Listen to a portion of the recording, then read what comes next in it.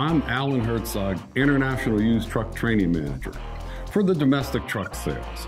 The content of this N13 video will help as a guide for UTC personnel when discussing or presenting the N13 information. In this video, I will be using an updated N13 PowerPoint presentation that you will have access to. This information will help you when talking to customers, dealers, or refresher for yourself and help jumpstart new staff on this product. As I travel and talk to UTC sales and visit dealers and customers, the question asked most is, what is the difference of the N13 versus MaxxForce? Because the engines look basically the same. I will provide information in this video to help you go out and present the differences and values of the N13 engine. This training is a foundation. You could modify this presentation to fit your customers' needs. Some of this information you may already know, but reminders and refreshers are good things. Let's get back to basics. Customers and dealers have heard negative feedback about the MaxxForce engine.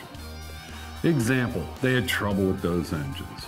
There's thousands of them out there, they can't get rid of them. They couldn't meet the emissions. They can't be fixed. Are these things true? Well, at one time, yes, all were true. But that's not the case today. Let's visually identify a 2013 N13 engine first. The engine on the left is a 2013-14 SCR engine, and the N13 engine selective catalyst reduction was shipped in the ProStar and TranStar delivered approximately April, May of 2013. The engine on the right is a 2015-16 N13 SCR engine with a single stage EGR cooler with series turbochargers. They are both N13s, with some hardware changes, the cooler core sizes are the easiest way to tell the difference of those engines when the hood is open.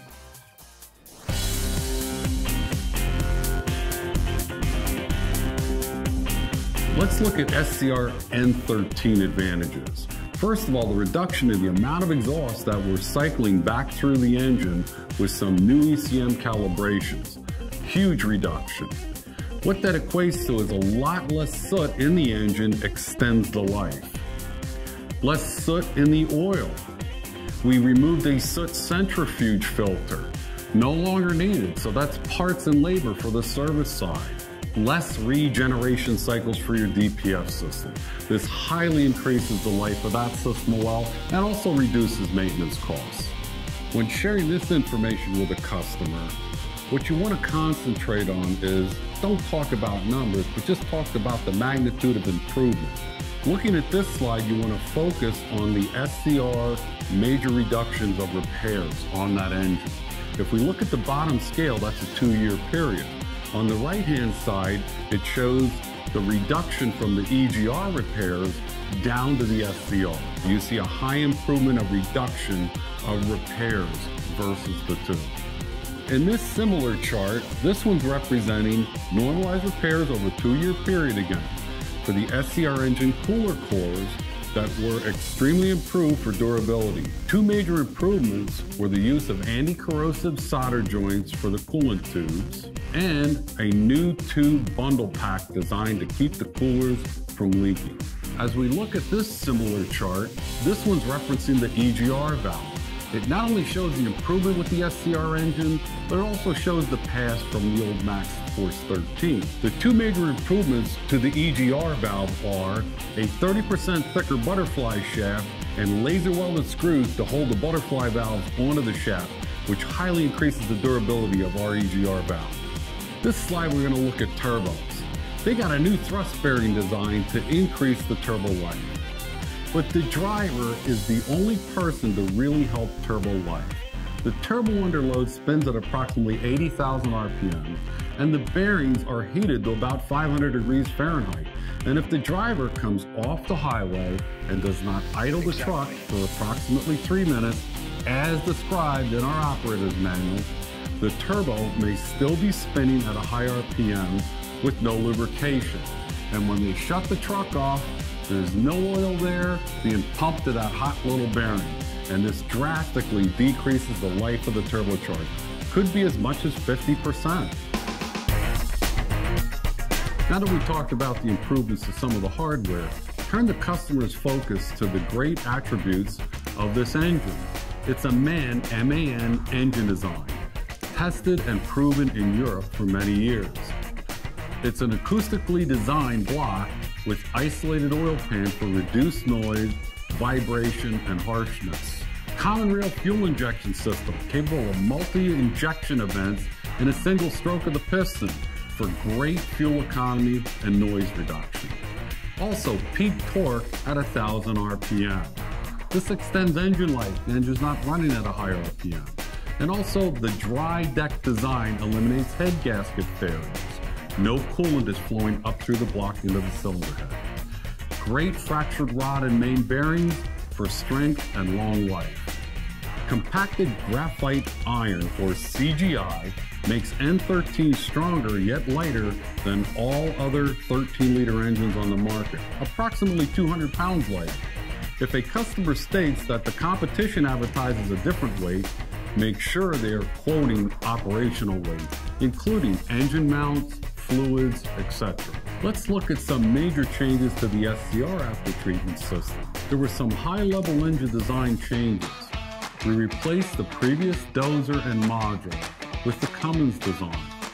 We also replaced the fuel and air shutoff valves. The new valve injects compressed air at the end of each cycle to prevent the doser tip from fouling. Less CGR eliminates vehicle-mounted engine oil soot centrifugal filter. On this slide, you can see we added a NOx sensor module required for the SCR system, but removed the pre-DOC not needed for the SCR one less part for the DPF system. One major change to the front of the N13 engine was how the fan was driven. The new drive system is a belt drive system opposed to a gear drive system of the old Max Force. This has a great durability increase for that fan drive system. Now that you looked at the major updates and data, I just want to be clear to you you have a good understanding of the after treatment system. I get many questions about this and there's misunderstandings. During engine operations, soot created with the combustion process is trapped and stored in the DPF, creating a restriction. As more soot is trapped in the DPF, the exhaust restriction in the DPF increases. When exhaust temperatures are high enough, the stored soot within the DPF is oxidized and reduced to ash. This reduction is called regeneration. The ash is still stored in the DPF. The N13 produces a lot less carbon and you have a lot less ash to build up in the DPF system. Remember, as the DPF fills with this ash, it must be removed and cleaned. Some used truck customers are not familiar with DEF fluid. Here are a few pointers. DEF stands for diesel exhaust fluid, and it's injected into the exhaust system and reacts with a selective catalyst reduction or SCR system. And it reduces NOx tailpipe emissions. DEF has the following characteristics. It's made up of 32.5% urea and 67.5% deionized water or distilled water. It's non-toxic and non-polluting. It's non-flammable. It has a weak ammonia smell to it. And it freezes at about 12 degrees Fahrenheit. But there are heaters in the system as soon as you start the truck to thaw anything that would have froze. DEF leaks can be identified with white crystallization that remain after the water's evaporated off of it. You can just rinse that off and clean it up. And one final note. For every 100 gallons of fuel burnt, you burn approximately 3 gallons of DEF with it. Let's take a complete look at the N13 SCR system, how the after treatment completely works. After the exhaust gas passes through the DOC and DPF canister, the exhaust still contains some NOx in it. The decomposition tube transfers the exhaust gas from the DOC DPF canisters to the SCR canister. The DEF doser valve, which is mounted to the decomposition tube, injects DEF fluid into the exhaust. A mixing plate in the decomposition tube mixes the DEF with the exhaust gases to break down the DEF into ammonia or NH3 and to harmless water vapor, which is H2O. In layman's terms are the bottom line. A chemical reaction started by the SCR catalyst changes the NH3 or ammonia and knocks into harmless N2 nitrogen and water H2O. At this point of the presentation, it would be good to use a customer testimonial. Whether we get that from the share drive, someone from your region, the Marketing Resource Center, it would be good to share an N13 success story with these customers.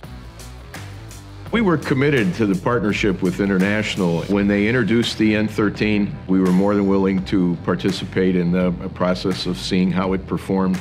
And uh, the International started uh, coming in in groups of 25 and 50 rather than uh, ones and twos. They're about 60% of our fleet right now. So we have two manufacturers in here, International being a predominant one. The N13 has performed better than previous products. So what they've done is they've created this N13 engine that's completely redesigned the whole truck and the engine itself. Saving fuel is a big cost component of uh, transportation. So anytime you can add a tenth of a mile, so to speak, to every gallon is pretty significant. It adds up over time, especially when you have as many trucks as we have.